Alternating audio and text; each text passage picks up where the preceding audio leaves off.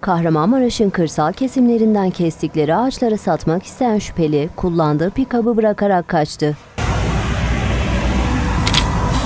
Olay 12 Şubat ilçesi Şazibey mahallesine meydana geldi. İddiaya göre kırsal kesimlerden kesilen ağaçlardan elde edilen odun ve kütükleri pikaba yükleyen şüpheli daha sonra Şazibey mahallesi mahlukatçılar sitesine yöneldi.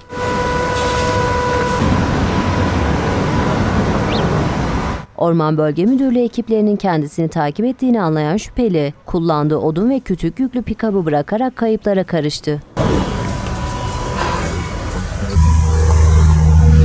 Ekiplerin gelmesiyle kesilen ağaçların olduğu pikaba el konuldu. Polis ekiplerinin incelemesi sonrası plaka sorgusu yapılarak sürücünün tespiti belirlendi.